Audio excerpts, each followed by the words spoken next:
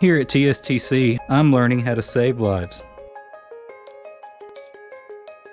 There are a lot of programs out there for EMS right now, and as far as TSTC goes, the paramedics they put out there in the field are the most experienced one.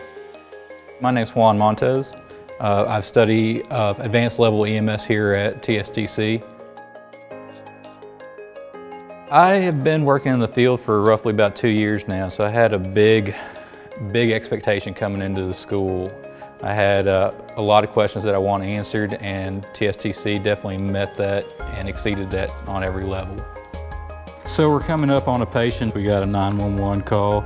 First thing we're gonna to want to do is go ahead and, if this patient is having difficulty breathing, we're gonna to want to go ahead and breathe for this patient. I'd go ahead and take over or start ventilations on this patient, making sure that I see chest rise as you note, we can see equal rise on the chest. That means that this patient is being ventilated properly. I was at work one day and a mom dropped her daughter and the daughter began to seize. And at that point, I, I had no idea what I was doing. And um, I didn't want to feel like that again.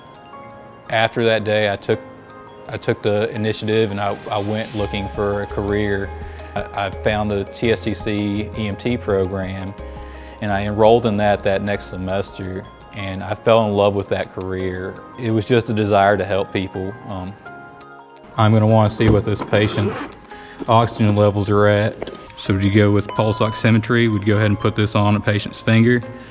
Pediatrics would go ahead and use a sticker on this guy. I'd also want to go ahead and get blood pressure on him as well. Uh, as far as uh, this program goes, it allows me to advance my career here in Texas. Uh, I'll be working as a paramedic. I plan on moving on to get my critical care certs, doing flight medic here in, in Texas. Pull out my stylet. We put our end tidal on here to make sure that we do have an end tidal ECO2.